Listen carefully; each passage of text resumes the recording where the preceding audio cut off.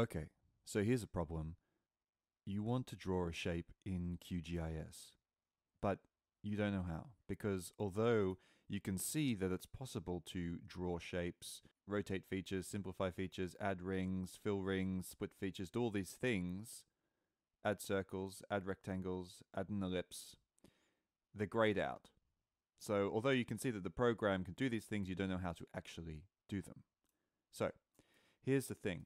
In QGIS, you can't create a shape, you can't create a point or a line or a polygon without there being some kind of layer to host it. This is the big difference between QGIS and Illustrator or Photoshop or Rhino or AutoCAD or any other program in which you could just normally start drawing. So if you want to draw a line or a square or anything in QGIS, you first need to create a layer that can host that shape. So to do that, we go layer, create layer, and then we can choose GeoPackage or shapefile. So either one of these, it doesn't really matter. Uh, I'm going to go with GeoPackage. I'm going to tell it where to save. Let's just put it on my desktop and this is going to be shape. The second thing I'm going to do is determine the geometry type. So let's say I want to draw a line. Well, in that case, the geometry type needs to be a line. And then I can leave everything else as it is. Press OK. Now I have a new layer in my layers panel over here called shape. The final thing I need to do in order to begin to draw is enable editing on this layer. So I'm going to actually make changes to the layer. In order to do that, I need to enable editing. And to do that, you press this yellow pencil icon up here, which says toggle editing. Now that I've pressed toggle editing, when I go into edit, you'll see that I've got a bunch of options here all these options have become uh, black where they were before gray. And right next to the toggle editing icon right here, you can see I've got two extra icons which have now become active. The first one here, which is add line feature, this is specific to the type of layer. So if I had set the geometry type of my new layer as polygons, then this would be an add polygon feature. But because I made the geometry type of my new layer a line type geometry, my option is to add a line feature and only to add a line feature.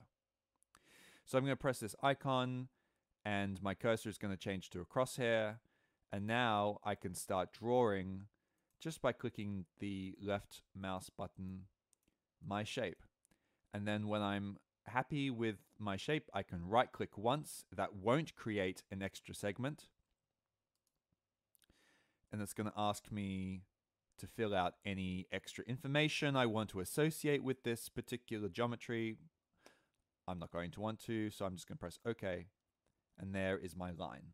Now, the final aspect of this process is committing these changes that we've made to the layer to disk. So we want to press save layer edits and now uh, these edits to the layer have been saved. Now it's really important to note that this save icon is separate from the save icon for the project. So uh, me pressing save project doesn't necessarily mean that the changes to my geometry will also be saved. Okay, these are two separate uh, functions.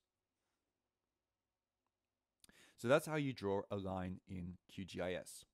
What if we want to make a rectangle? Okay, so the same process, we're going to go layer, create layer, create geopackage layer. Again, I'm going to put this on my desktop. This one's going to be called polygon. And the geometry type is going to be called polygon. So last time it was a line. Now it's a polygon. And this time I'm going to add a field. So that's uh, one of the columns that will appear in the spreadsheet that gets associated with the geometry. If that sounds complicated, you'll see what I mean in a second. So I'm going to be calling this new field country name. I'm going to add it to the fields list. I'm going to press OK. Once again, I'm going to press the pencil icon to enable toggle editing on my new layer, which is called Polygon.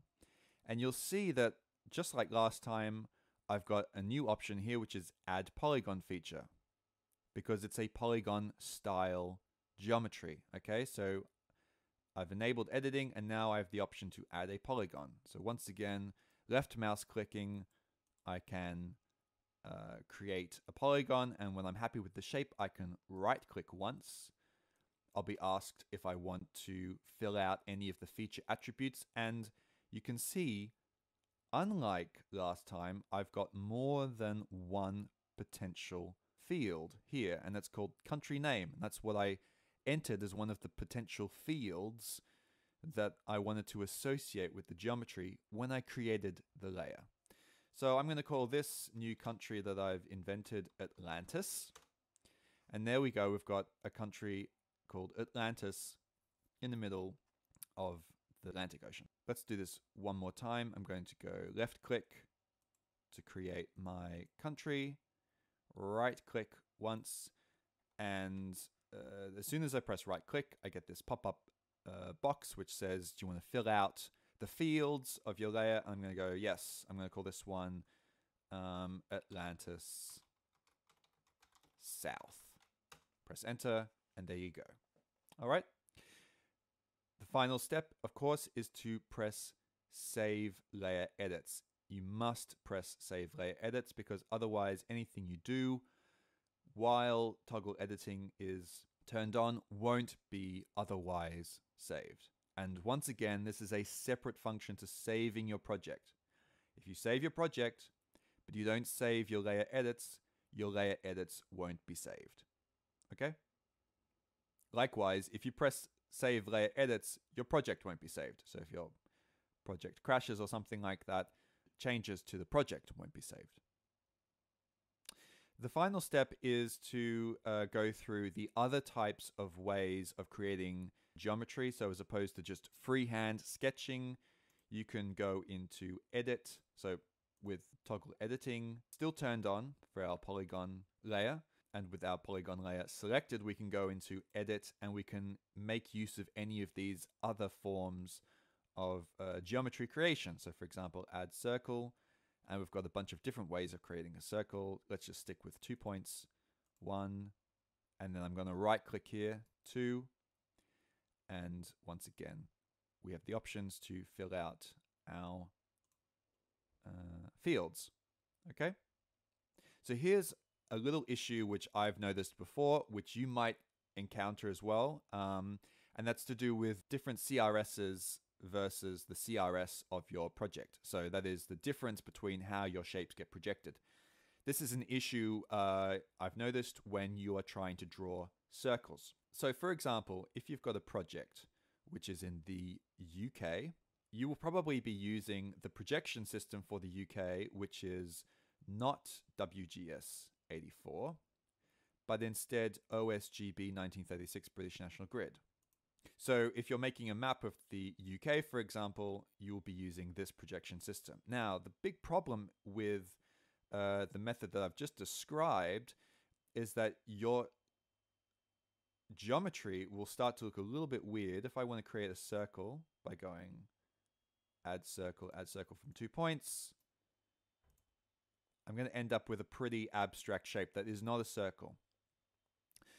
And the reason is I didn't set up my layer to be particular to the British National Grid. Um, I set my layer up with a projection system for uh, WGS 84. So to get around that problem, I can simply create a new layer by going layer, create layer, new GeoPackage layer, save this on my desktop, but this time I'm going to call it um, OSGB circles. The geometry type is going to be polygon once again, but here under the CRS option, I'm going to select the current project CRS, which is already set to OSGB 1936. Press OK. And now if I create circles, first of all, I need to toggle editing. Now if I want to create circles, you'll see that they remain perfectly circular.